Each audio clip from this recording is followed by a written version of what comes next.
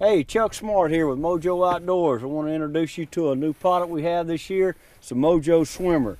Built on a Mallard Drake body, kind of oversized. Well, you can see it from a distance.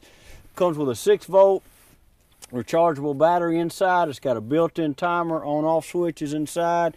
If you notice here, it's got dual, it's got a flat bottom, so it'll get more movement, no resistance. It's got two jet pumps on the bottom. So it intakes the water right here, spits the water out here. It creates that V shape you see when ducks, you know, the first thing you see a duck from a distance is that V. And then you follow that V up and there's a duck swimming. That's what this does.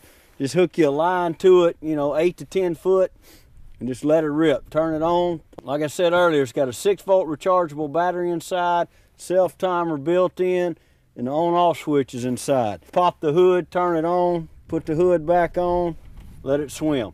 Mojo Swimmer.